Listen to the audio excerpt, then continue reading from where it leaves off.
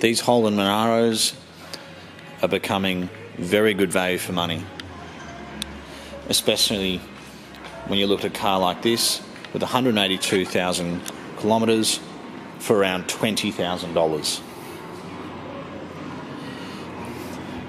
I don't know a lot about Holdens, but uh, what I do know is this silver Monaro with black leather interior in a six speed manual is a nice car. It drives particularly well. It's got a sunroof. It's got nice big wheels which suit the car very well. And it's a V8. It's got parking sensors.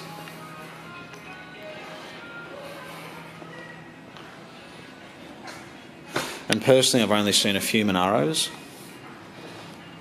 Maybe it's because I don't look for them on the road, I don't know. But uh, I've only seen a couple of them up close. And uh, reminds me of my younger years when I had my Calais. And I absolutely love them. In fact, my first car was a Calais. And for me, the power of the car coupled with rear wheel drive was one of the best things about it.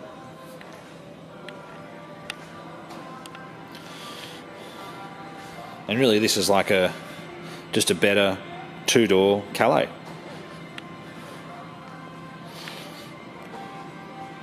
But I think the paint is in particularly good condition. The headlights, the, in, the interior is showing its age in places.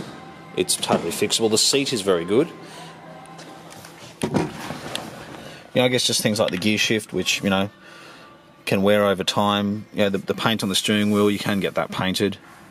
But mechanically, we think it's a very good car, and it does drive particularly well. If you do have any questions about this car, please give us a call. Um, you can ask for me. My name's Philip. We're on 0295699999.